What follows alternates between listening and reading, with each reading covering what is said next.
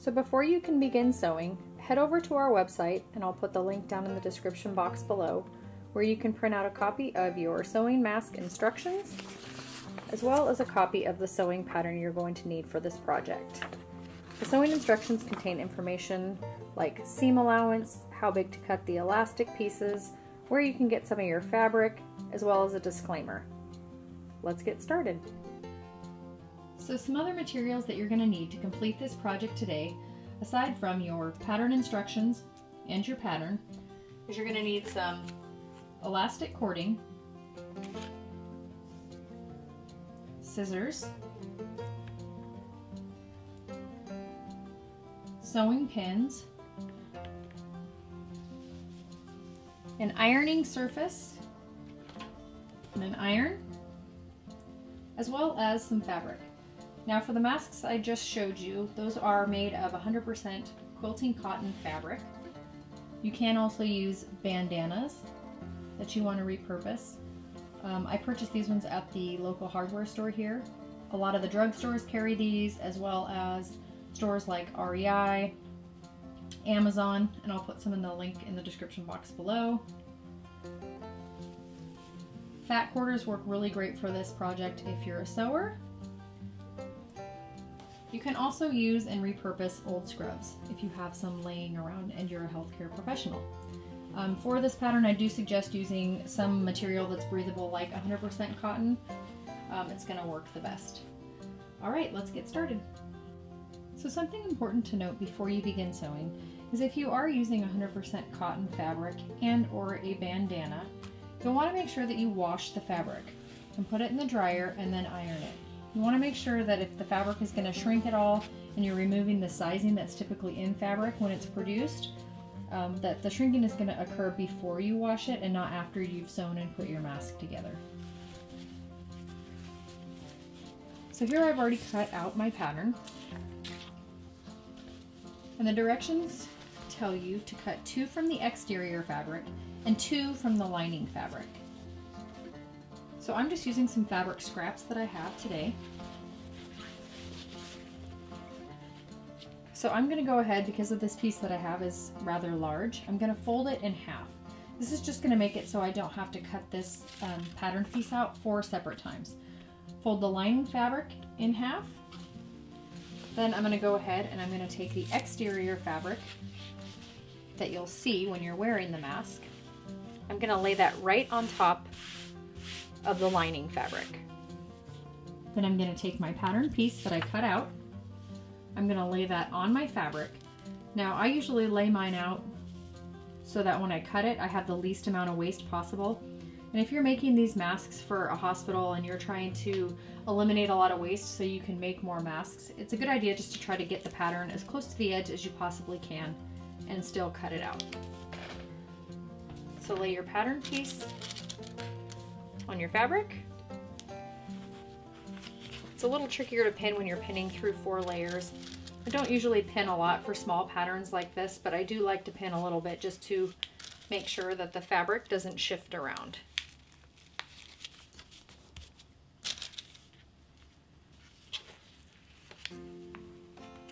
Now if you have a rotary cutter, you can also use that, but just a word of caution with the rotary cutters because they're really sharp and you can't really use um, a ruler when you're cutting these out because of the curves just be really, really careful. For this project, I actually prefer scissors, um, but if you do want to use a rotary cutter, just do it at your own discretion and be careful. So grab your scissors, and we're going to go ahead and just cut along the pattern. The seam allowance is actually included in the pattern piece, so there's no need to actually leave the quarter inch seam allowance around the outside. Just cut right up against the paper. This doesn't have to be perfect. You are going to have seams and you're not going to see any of the raw edges.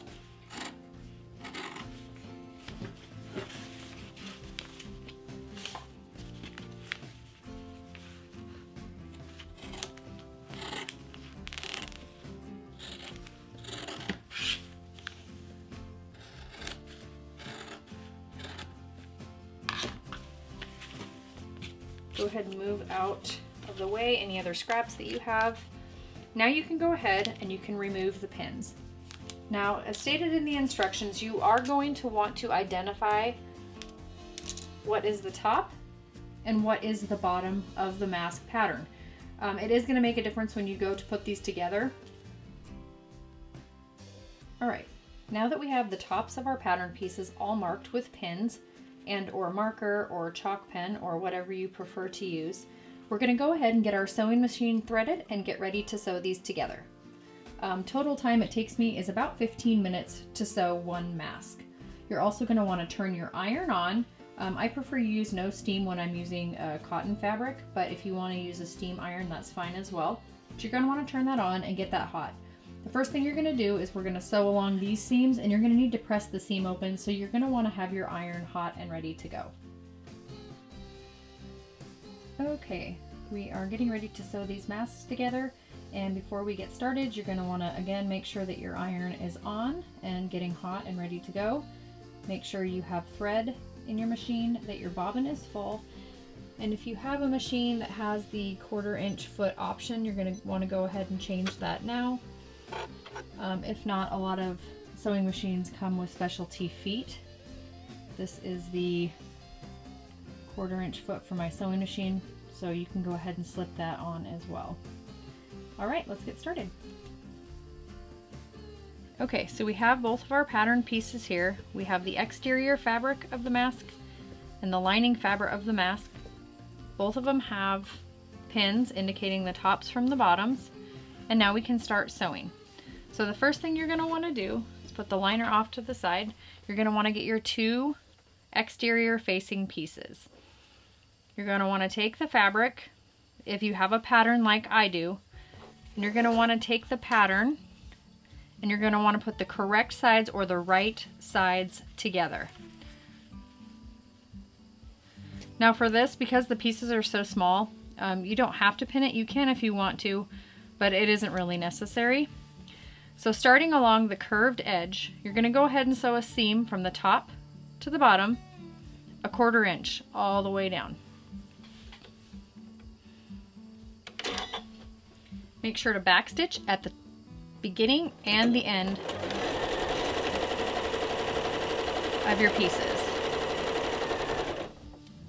Now when you come to the curve, if you want to, you can kind of lift up your machine just to make sure that your seam is nice and straight. If you're new to sewing. And my pins are kind of in the way here, so I'm just pushing them back so I don't sew over them.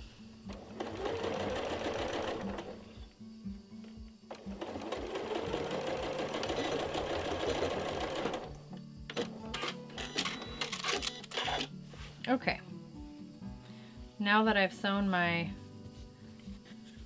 seam along the entire curved edge, you're going to want to take a pair of scissors or snips and you're going to want to ease the seam.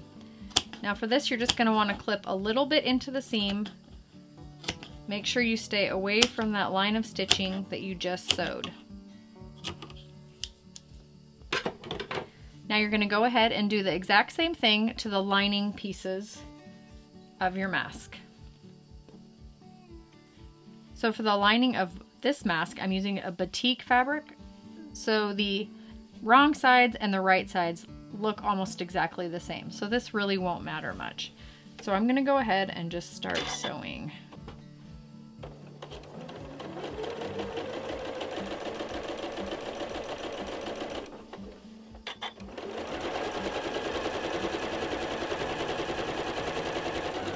back stitch at the end cut your threads. And just like you did for the exterior of the mask, you're gonna wanna go ahead and ease the seam. Usually clip about every inch or so. If you have any extra threads, you can trim those as well. Gonna move the pin out of the way, making sure I still leave it in the top.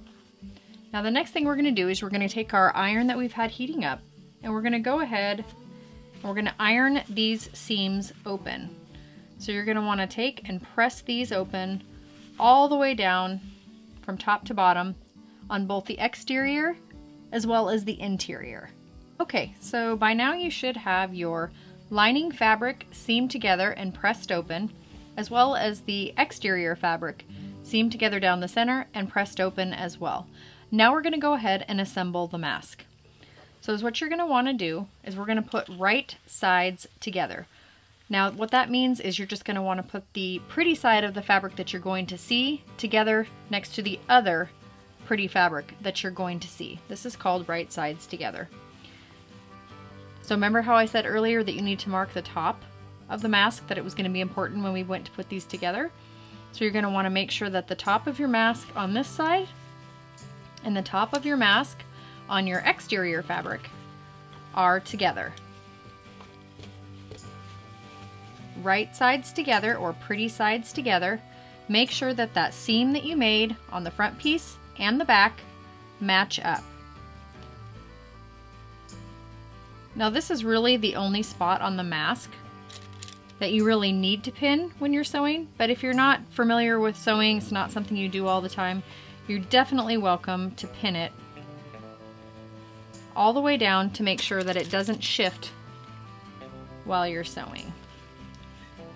So we're gonna go ahead and we're gonna sew along the top of the mask and the bottom of the mask. And you're gonna wanna make sure that you leave these edges open. This is how we're gonna turn the mask so you have the pretty sides facing out.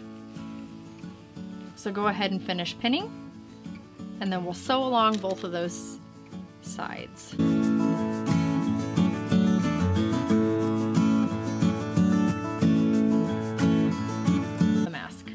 So there's the top pinned. Now you can go ahead and pin both sides and then sew, or you can sew the top and then the bottom. It doesn't really matter. quarter inch seam. Make sure you backstitch at the beginning and at the end.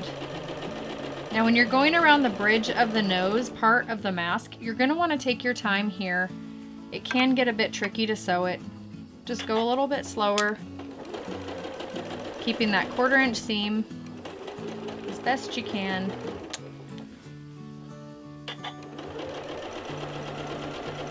Just kind of ease it around the curve, pull out the pins before you sew over them.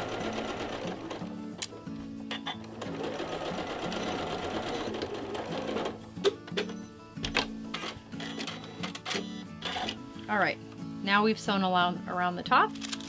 Make sure you line up those seams, again at the bottom of the mask. Pin in the center,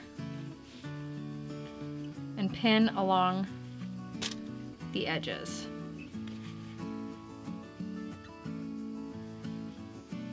Make sure those are lined up.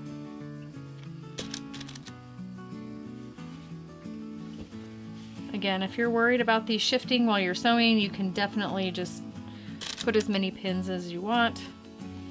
I don't usually pin these, I'm just, I know there's a lot of people trying to help out healthcare workers right now and sewing these even if they don't have a huge background in sewing, which by the way, we appreciate everyone that's helping So there we go, I've pinned all those. Now we're gonna sew along this bottom edge, again, leaving this side open and this side open as well. Back stitching at the beginning and at the end. Now is a good time, before we turn this inside out, to just go ahead and trim any loose, long threads that you have. This just kind of cleans it up a little bit. All right, now that that's done, you can take out the pin and I always go ahead, this is definitely not necessary, but something that I do, again, is go around and ease the seam. It's really only necessary around curved edges, so up by the bridge of the nose and on the bottom piece where it's curved a little bit. It will just help it lay open and a lot more flat. But again, if you don't do this, it's not really that big of a deal. So, you've sewed the seam on the bottom, quarter inch, along the top bridge of the nose, a quarter inch, now we're going to go ahead and we're going to turn the mask so the right sides are facing out. So I always start like this and just kind of start wiggling the fabric, forcing it in on itself. It's going to look like a mess during this process, but when you're done, you'll get to see your mask start taking shape.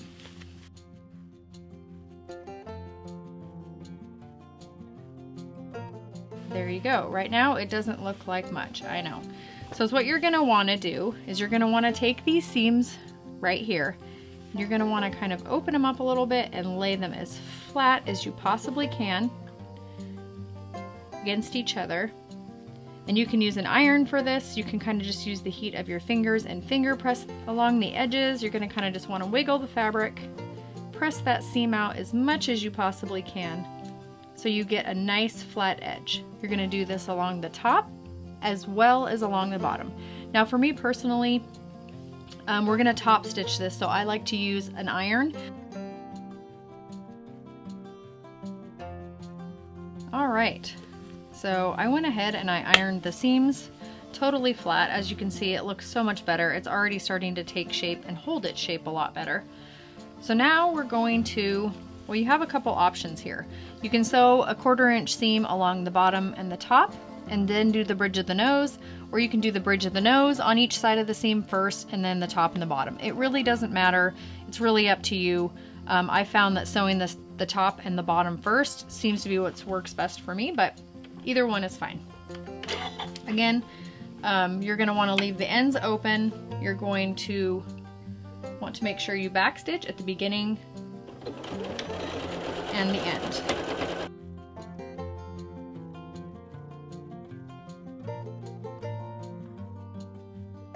Now we'll go ahead, we'll do the bottom part of the mask. Again, backstitching beginning and the end.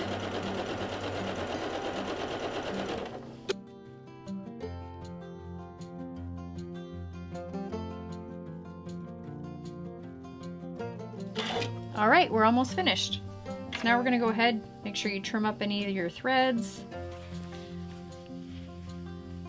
If you do have a serger, you can serge the ends of the mask as well. I'm trying to just keep this as simple as possible and make this a really doable project for all the great people out there that are trying so desperately to help us healthcare workers out in the hospitals right now. Really appreciate it. All right, now that all my threads are cut, we're gonna go ahead and we're gonna fold up the edge and press at about a quarter of an inch. So you're gonna do that to both sides of the mask. Fold it about half an inch, give or take. This doesn't have to be pre precise, but you really just wanna make sure that you're leaving enough room from the side of the mask to the bridge of the nose area that it covers your face. So you can go ahead and give that a finger press and then press that down with your iron. And then go ahead and do the other side the same way. So for this, you can measure it if you want to get really specific. I kind of just fold mine over and look at it. Looks about the same. All right. Now we have both sides of the mask.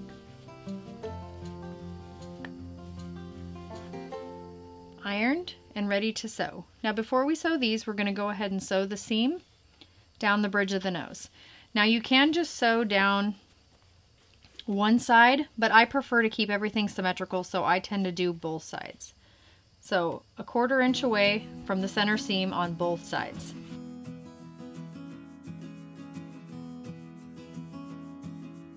Make sure you backstitch or stay stitch at the beginning of each line of stitching. Turn it around. Now you're going to want to sew Again, this part is optional. There's the center seam, there's the seam I just sewed. Now you're going to want to sew about a quarter of an inch away from the center seam on this side as well. Alright, we're all trimmed up. Now we're on to the last step. So go ahead and grab your elastic cording. I believe the size of this cording is 5 16ths, but make sure you check the description box below and I'll have a list of all the things that I used. Now I go ahead and cut these 15 inches. This is leaving quite a bit of room for um, adjustment. And if you're making these for the hospital, um, you don't really know who's going to be wearing them unless you're making them for specific people. So having some wiggle room to adjust them is great. So I went ahead and I cut both pieces of elastic cording 15 inches long. and set it right in that iron seam that we did. Gonna take your fabric, fold it over where we ironed it, and this elastic cording should be able to move freely where it's at. Now we're gonna go ahead and we're gonna stitch this edge down, back stitching at the beginning and the end, just to make sure that it's really secure. Um, Another note, when you're sewing these, you're going to want to be really careful that you don't sew over this elastic cording. You want this to be able to pull through all the way. Um, if the cord happens to break, it could be replaced really easily without the whole mask having to go in the garbage. It up, set that elastic right into that iron seam that we did. Fold it over, make sure your elastic is out of the way, and then go ahead and sew this one as well.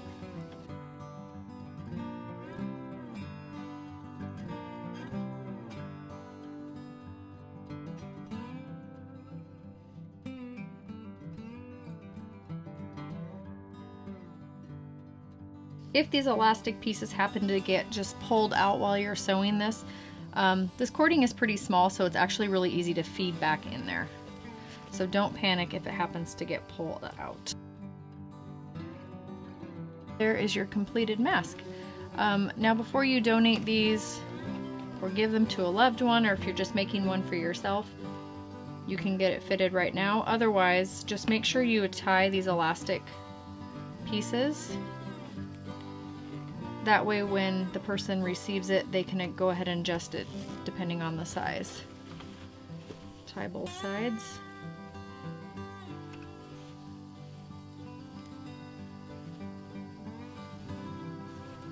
And that's it.